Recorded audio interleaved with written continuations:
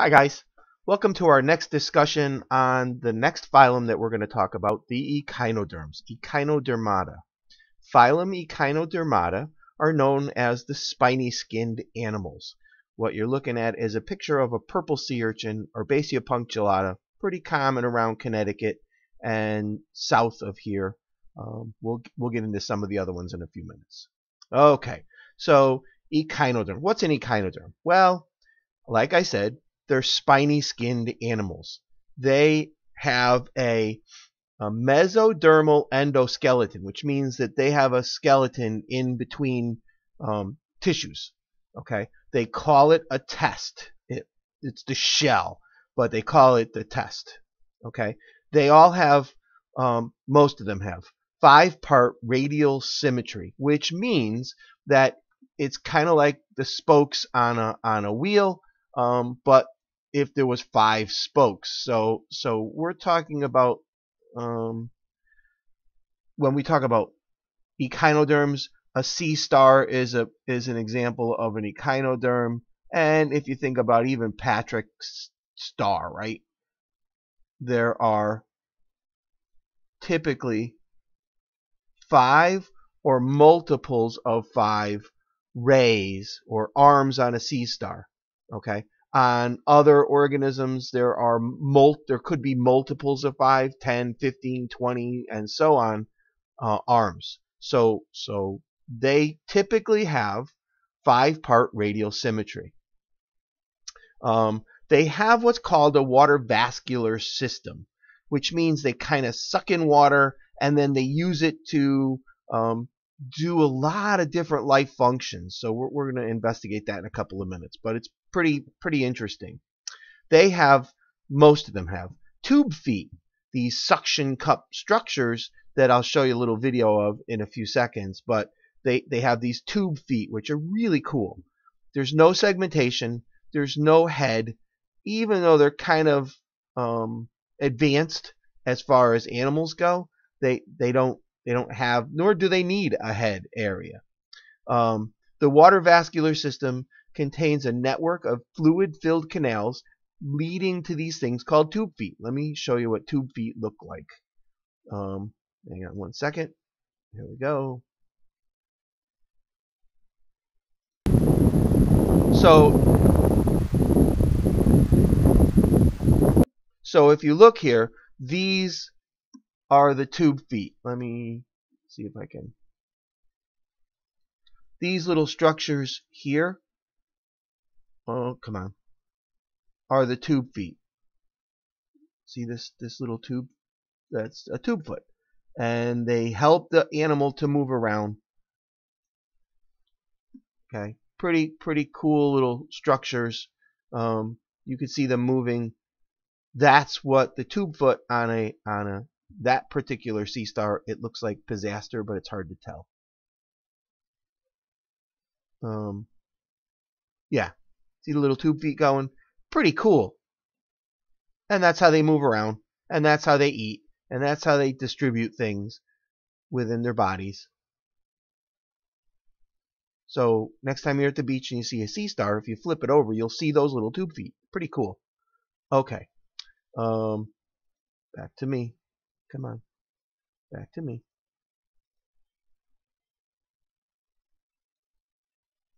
Okay. So the water vascular system, like I said, is involved in lots of things. Feeding, respiration, internal transport. It's how they get stuff around. Elimination of weights, movement, all kinds of things. All echinoderms are marine, which means there are no freshwater echinoderms. There are no terrestrial or land-based um, echinoderms. They need the seawater to work their water vascular system vary in appearance quite a bit, but they're fairly consistent in their builds. So we'll get to those in a few minutes. But there are carnivores that use their tube feet to open up, typically open up like a clam or a scallop, and then they slip their stomach inside the clam, which is kind of interesting because they, they actually push their stomach out of their mouth and digest the clam from inside the clam. Pretty neat. Um, and then they digest the clam within within its own shell let me let me show you another little video here quickly of a sea star eating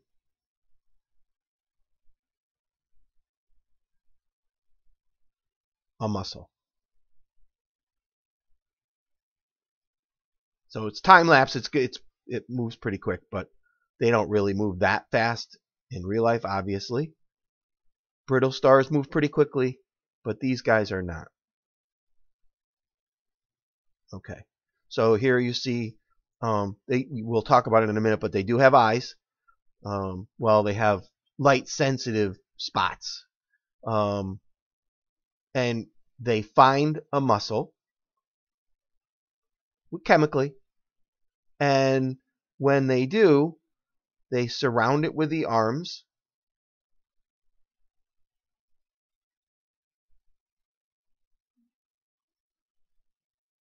I think this is pretty cool.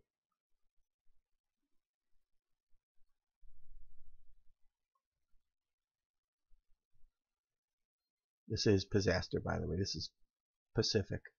There's the tube feet they kind of hold on and they open up they hope when the clam or mussel opens up a little bit they hold it open and then this is the stomach coming out of the mouth into the mussel the stomach is this white filmy thing really membranous and then it it secretes digestive enzymes that eat the mussel from inside the mussel.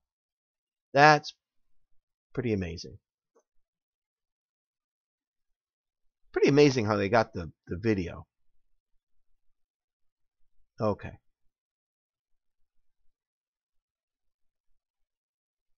All right, so back to me. Um, herbivores use the um, um, they they they have these these jaws called Aristotle's lantern that that scrape off algae off the rocks. Let me see if I can get uh, another video. I know, sorry. Um, but they're pretty cool videos. So what you're seeing here is Aristotle's lantern in action. This is Aristotle's lantern.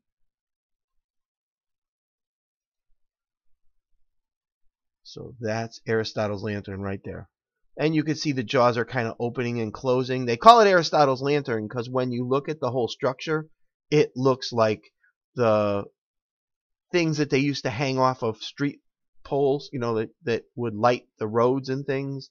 They call those Aristotle's lanterns. Okay. Okay.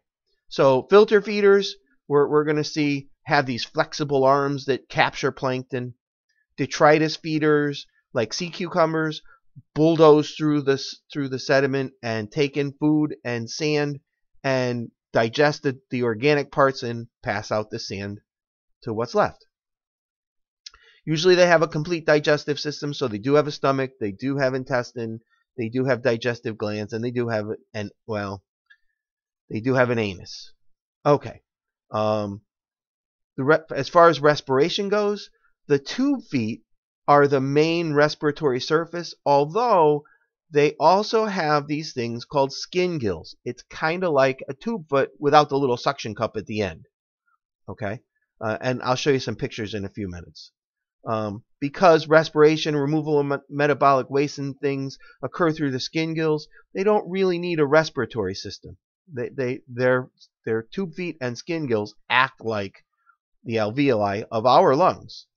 Um, as far as internal transport goes, um, they're shared by a bunch of systems. They don't really need anything crazy. The nutrients are distributed by the digestive glands and the fluids in the body cavity. They're in the water, so they they um, they don't really have a problem with distributing materials. Solid wastes go through the anus. Brittle stars don't have an anus, but mo most of the echinoderms do. Um, ammonia and cellular metabolic P are released through the tube feet and skin gills. Okay, as far as response goes, they have a simple nervous system.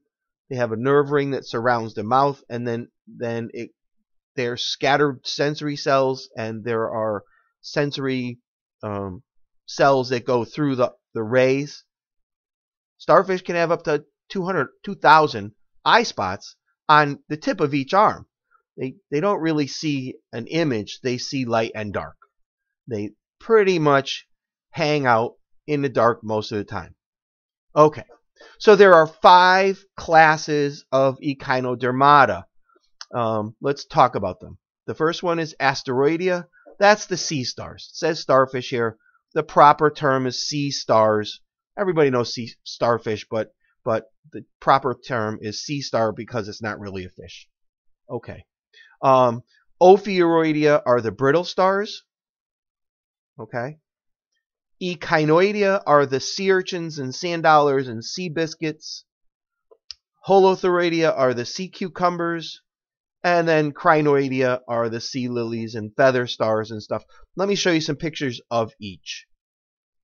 As far as Asteroidea goes, the there's there's two um, there's there's two different sea stars here, believe it or not.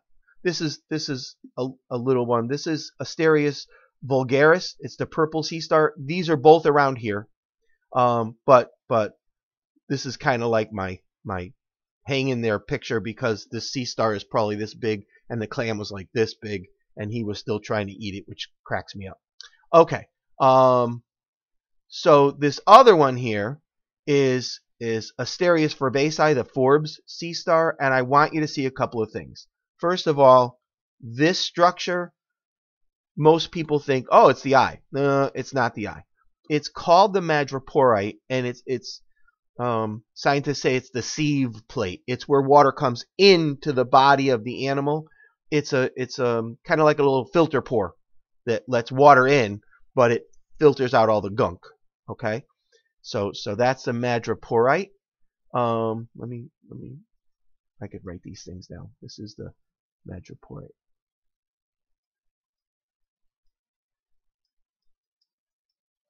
Okay. Um, if you look right here, these structures that are all over the place are the skin gills. Okay. Um, another thing that that um, echinoderms have is is they have these little structures. See these little like jaws looking things? Those are called pedicellaria.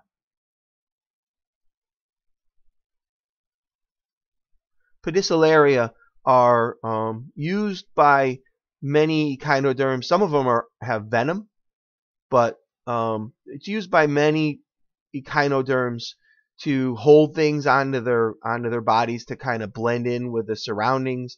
They're used as protection. They're used to manipulate things around them. They're pretty cool. Okay.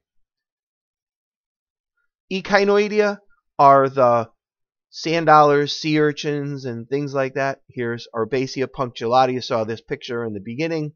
This is the purple uh, sea urchin. It's common around here. They call it a purple sea urchin, but most of the time it looks kind of black to me. Okay.